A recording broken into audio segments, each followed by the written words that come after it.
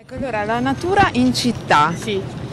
La natura entra in città e entra a pieno titolo perché entra in Piazza Duomo, ma cosa intendiamo? Intendiamo di passare da una visione un po' più tradizionale, di una natura un po' assecondata ai ritmi di quello che si dice che è il gusto, quindi le violette che continuano a persistere anche in inverno e vengono continuamente trapiantate, a una natura che invece è la natura che troviamo al di fuori della città, ma in realtà si può anche portare dentro, una natura spontanea, perenne, che eh, rappresenta le, le specie proprio del luogo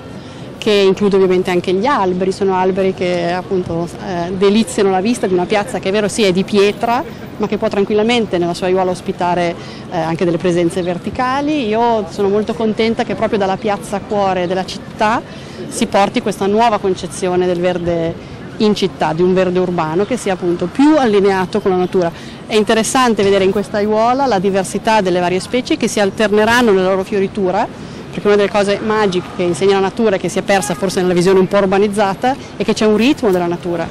Quindi il fiore arriva quando è il momento e si alterna nei colori e nel, nelle fioriture durante tutto l'arco dell'anno. E questo secondo me è un messaggio molto bello per i cittadini che, lo, che ricollega molto le persone a quella parte naturale che è dentro di noi. Dal punto di vista economico come si è articolata questa operazione Assessore? Questa è una, è una sponsorizzazione dello sponsor Conica Minolta che ha garantito la, la, progettazione e la manutenzione dell'aiuola per tre anni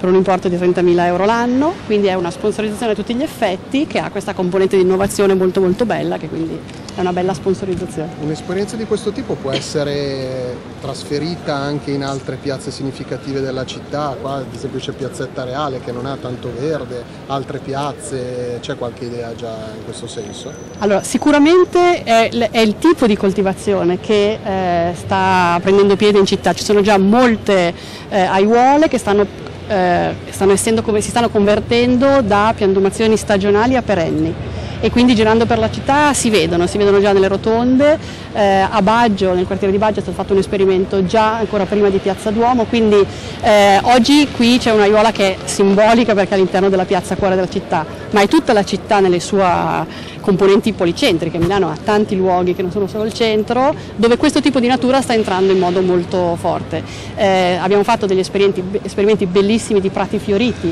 che sono per adesso nei parchi, ma che è nostra intenzione è portare anche nell'aiuola piccola. Il, il prato fiorito è un'essenza di fiori che continua appunto a fiorire da sola, più alto dell'erbetta normale a cui siamo abituati, ma che ha questa componente di, di colore bellissimo e di, e di natura eh, selvaggia è troppo, ma natura viva, natura che appunto ci riconnette un po' con quell'aspetto che in città si perde.